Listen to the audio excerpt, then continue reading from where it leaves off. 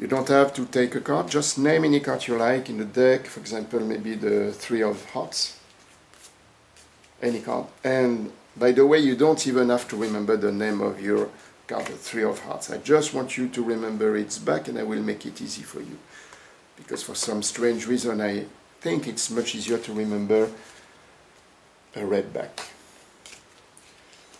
Now obviously it's very easy for me to find your card because of its back. So let's change it again, which is no big deal because it's blue and blue. So let's change the back of all the deck.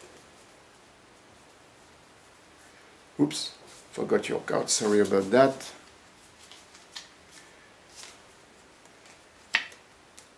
Now I think the deck is clean, let me check. Yeah, it looks perfect. Perfect.